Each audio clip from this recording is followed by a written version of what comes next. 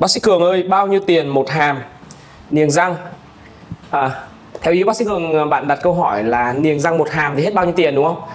Và uh, trước khi trả lời câu hỏi này thì bác sĩ cường cũng uh, cũng uh, có một cái uh, lời khuyên dành cho các bạn mà khi mà chúng ta bắt đầu niềng răng nhé độ tuổi niềng răng tốt nhất là trong độ tuổi từ 11 đến 15 tuổi. Uh, đây là độ tuổi vàng của niềng răng và nếu mà các bạn đang trong độ tuổi này thì xin chúc mừng các bạn và các bạn nên niềng răng sớm nhé.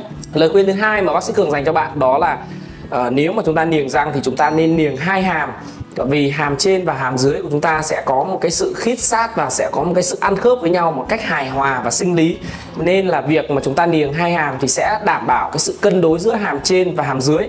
Nên chính vì vậy là ờ, việc niềng hai hàm sẽ ngoài những cái tác dụng vô hình như là về mặt uh, ăn nhai về mặt khớp cắn thì nó cũng tạo ra những tác dụng hữu hình ví dụ là góc độ về mặt thẩm mỹ uh, góc độ về uh, mặt cân đối giữa nụ cười và gương mặt nữa. Nên chính vì thế là lời khuyên bác sĩ cường đó là nên niềng hai hàm.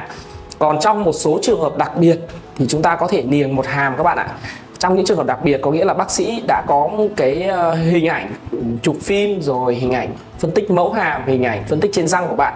Và bác sĩ có cái sự cân đối và có cái sự căn chỉnh để mà đảm bảo cho cái việc mà niềng răng một hàm mà không ảnh hưởng đến hai hàm. Đa số những cái trường hợp này là những cái trường hợp chen trúc nhẹ ở vùng răng cửa hoặc vùng răng hàm hoặc ở một vài răng mà khi mà à, niềng như này thì bác sĩ sẽ phải tính toán trước là sau khi mà niềng xong thì cái răng đó nó khớp vào với cái răng hàm trên hoặc cái răng hàm dưới mà không được niềng.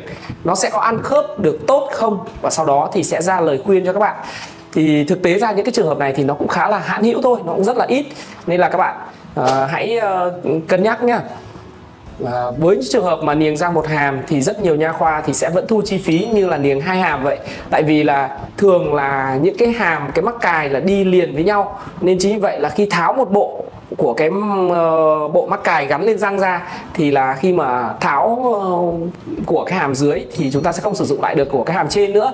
Vì là với những trường hợp mà chúng ta sử dụng Ờ, uh, niềng răng thì nó sẽ có những cái thông số của cái mắc cài và là khi đã gắn trên răng của bạn rồi thì nó sẽ tương ứng với uh, cái chỉ số của bạn phù hợp với bạn. Thế còn với những trường hợp mà chúng ta mang cái niềng răng này đi gắn cho người khác uh, thì nó sẽ uh, là trường hợp nó cũng hạn hữu vì là một là nó cũng thiếu thứ hai là uh, nếu mà chúng ta gắn lên răng người khác thì có thể cái thông số đấy nó không phù hợp với người ta. Nên chính vì vậy là uh, khi mà niềng răng thì uh, lời khuyên thì vẫn là nên niềng hai hàm. Còn trong trường hợp mà niềng một hàm thì chi phí nó cũng sẽ uh, không được giảm hơn nhiều so với uh, việc là chúng ta niềng hai hàm đâu.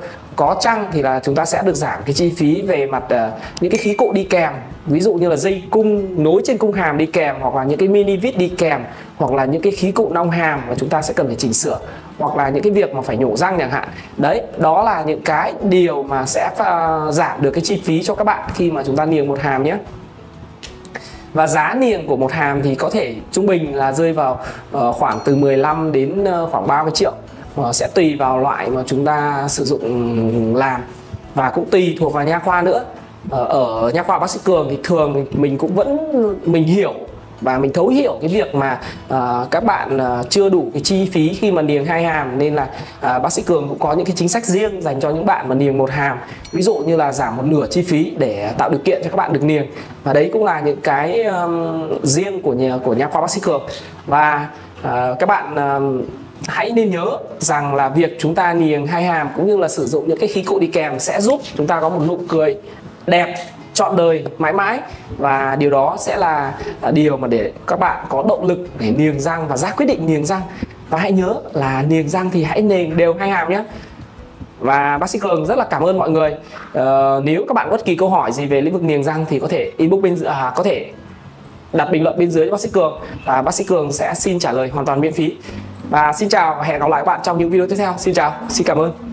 Cơ sở 1 Dr. Cường Dental 28 phố Gốm, Giang Cao, Bát Tràng, Gia Lâm, Hà Nội Facebook Nha khoa thẩm mỹ Dr. Cường Điện thoại 0974 598 669 Cơ sở 2 Eco Dental 150C Thủy Nguyên, khu đô thị Eco Park, Văn Giang, Hưng Yên Facebook Nha khoa Eco Dental Eco Park Điện thoại 0965 485 669 Cơ sở 3 Ocean Dental, mặt trong tòa S208, Vinhomes Ocean Park, Đa Tốn Gia Lâm, Hà Nội. Facebook Nha khoa Ocean, Vinhomes Ocean Park. Số điện thoại 0968 888 105.